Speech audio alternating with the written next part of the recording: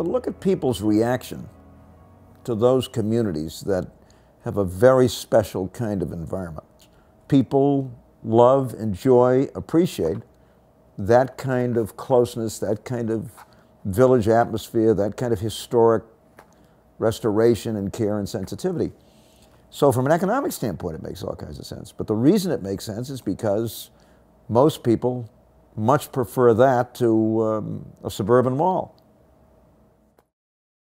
It's the world we live in, in all of its various manifestations. Uh, you know, it's, it's a beach on Cape Cod, it's downtown Boston, it's uh, Paris, it's uh, a little village someplace, it's a village green in Vermont. I mean, all of these things are part of the built environment. And how we view them, and more importantly, how we treat them, is very important. Their decisions are central to this process. It's not just helping a little bit. And Boston is a case in point. Um, following World War II, we, like every other major metropolitan area, was told, were told that in order to save the city, we had to build a so-called master highway plan, which involves six eight-lane highways right into the heart of the city. And then because, of course, if that's all you did, you'd have a massive traffic jam. An eight-lane elevated distributor, so-called, which was the so-called Inner Belt Highway. It was going to come down Ruggles Street, eight lanes elevated, three feet from the Museum of Fine Arts, right through Frederick Law Olmsted's Emerald Necklace in front of Simmons and Emmanuel, right through Beach Park and Brookline, across the Charles River, smashing through Cambridge around to Somerville, then hooking up with the other end of the, the then elevated Central Artery. Um, and that was the planning orthodoxy of the time. I mean, you had to do this. And by the way, we were not alone. Every metropolitan area in the country, including, by the way, the Bay Area, was told it had to do the same thing.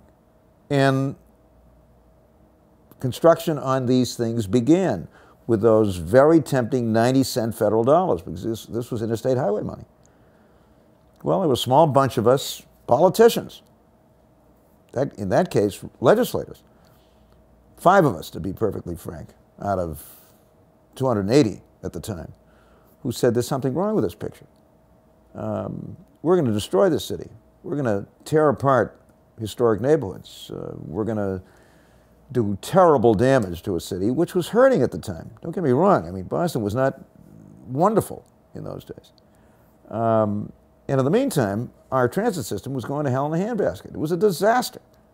Breaking down, terrible equipment, no investment, while billions were going to be poured into this highway system. Well, it took us 10 years. It's a huge battle, but we finally won it and stopped the master highway plan. And then, thanks to a sainted man named Thomas P. O'Neill Jr., who at that time, Tip was, I think, majority leader, we were the first state in the country to be able to use our interstate highway money for mass transit. It had never been used, never been done before. You couldn't bust the highway trust fund. If it was gasoline tax money, had to be used for highways. We were the first city and metropolitan area and state to be permitted to do that. So we stopped the highways. We invested heavily in the T. We acquired the entire commuter rail system in eastern Massachusetts for a total of 35 million bucks. You know, I tell people this and they don't believe it.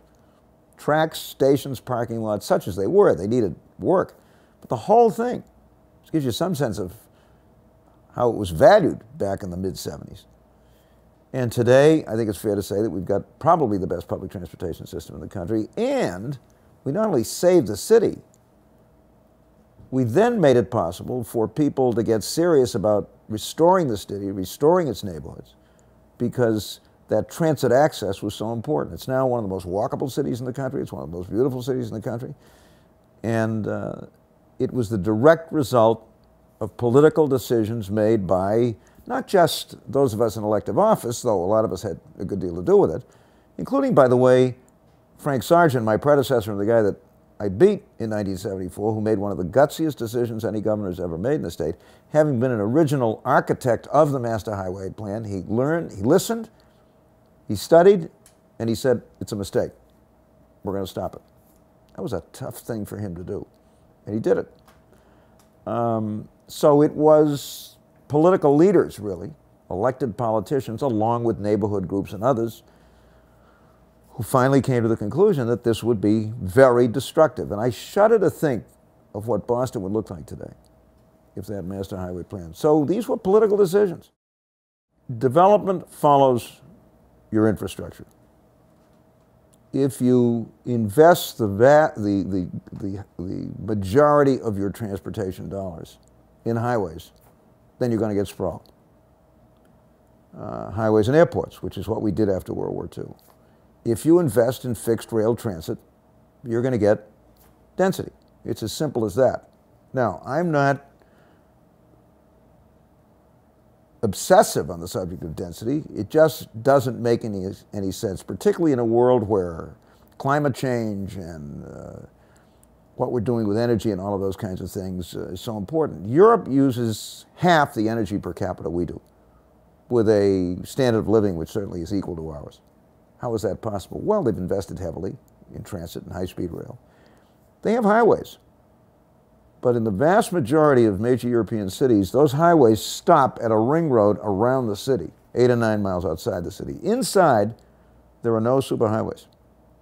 Inside that ring road, it's all about transit. Now, if you want to drive into the city on the city streets, you can do so. But billions of dollars haven't been spent to carve up those cities into what are really highway route warrens and, uh, and destroy the very fabric of those cities. And it's one of the reasons why they're so popular. It's one of the reasons why the most expensive places to live in most European cities is in the inner city, not in the suburbs. And of course, that's true of places like Boston and San Francisco these days, Portland, Oregon, which made a decision to emphasize light rail and is a gorgeous city and, and an extremely attractive city.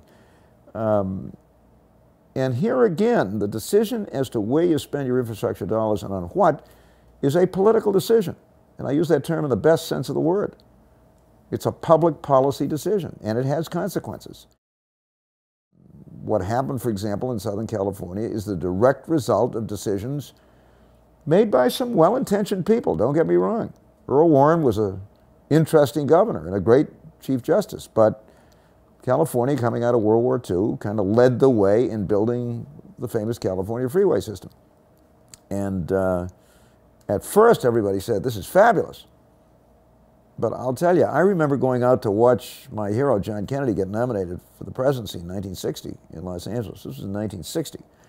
And even then, it was clear that the freeway system wasn't working. It was not only encouraging sprawl, it wasn't working as a transportation system. Cars were backed up at 5 o'clock in the afternoon, moving parking lots and all that kind of stuff. And a city which had the best street railway system in America prior to World War II, that was Los Angeles. You could go anywhere in those big red streetcars. Basically, ripped up its tracks, threw the streetcars away, and decided to put buses on the street. Well, the result was sprawl, I mean, with a capital S. Now, years later, Los Angeles, to its credit, is investing hundreds of millions of dollars to try to recreate, at least to some extent, that transit system. And if they do, then over time, it won't happen overnight, you're going to begin to get a Los Angeles that's, that's, that's filled in, that's attractive, that's walkable, and so on. But um, those were decisions that most major metropolitan areas in America made back coming out of World War II for a lot of reasons. Hey, the car was wonderful, they were cheap. We hadn't seen any for five or six years. I remember as a kid seeing the first cars coming back into the neighborhood the Hudsons, the Studebakers, the Ramblers, the Nashes. the Kaisers and Frazers. Nobody knows what I'm talking about these days. And it was incredible. I mean, we hadn't seen a new car in five or six years. And people really kind of got excited about this. But the end result was that we ended up uh, destroying neighborhoods, carving up our cities, and encouraging kind of a mindless sprawl, which eventually even made the highways unworkable. And now we're desperately trying to reverse the impact of at least some of those things. Uh, I think we understand now, unfortunately, we made a lot of mistakes, just how uh, damaging all of this was. And look, don't get me wrong. I mean, there are, or at least initially were some things were very attractive about uh, suburban living. If you lived in a cold water flat in a slum in Boston, and you would come back from World War II as a GI and manage thanks to the GI Bill to get a college degree and to begin to earn a few bucks and you're married, settle down with kids. Going back to that cold water flat wasn't exactly the greatest quality of life, however historic the neighborhood. And moving out to Framingham and buying a seven room house for 20,000 bucks which is what they cost in those days, was a very attractive prospect. And why not? And having your little barbecue in the back and so on and so forth. The problem is that thousands of people began doing that. And pretty soon we got all these folks who were trying to get from home to work and back again in a few other places, all trying to use the same roads. And it just didn't work. So it's perfectly understandable why, and fueled, by the way, by 4% mortgages, guaranteed by the United States government. And understandably, these guys had served us, they put their lives on the line, they came back. We wanted to do right by them. But it's perfectly understandable now why they did what they did and why the economics of the thing at the time seemed to work well. Unfortunately, 20 years later, we discovered that we had a massive problem on our hands. I mean, in a sense, we've all been late on this. We've all been late on this.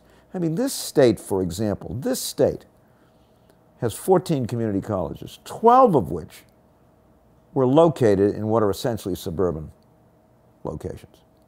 If every one of those community colleges had been designed as an attractive urban campus and located in the heart of our older urban industrial communities. Today, those downtowns would be sparkling and the community colleges would be the centerpiece of downtown revitalization. Why do we put them out in the burbs? Well, because there was this notion that if it was a college, you had to have a campus uh, with a creek or something where you could serenade your girl with a ukulele or something. I don't know. There was this kind of romantic view of campuses. But in point of fact, these were older industrial communities. Their downtowns were being decimated by all this highway construction and the disinvestment out. And what we should have done with our public buildings and public investments was to focus them there. Well, belatedly, starting in Lowell, we woke up. And Lowell today is one of the great examples of urban revitalization, historic restoration, and so forth, and the National Heritage Park. But you know, in those days, we didn't know what the, what the hell a heritage park was. Um, and, um, and so we made, it wasn't just investing in highways. We made decisions about where to locate important public activities and public structures. Why did we do that? Well, we were part of the whole suburban myth ourselves, I guess.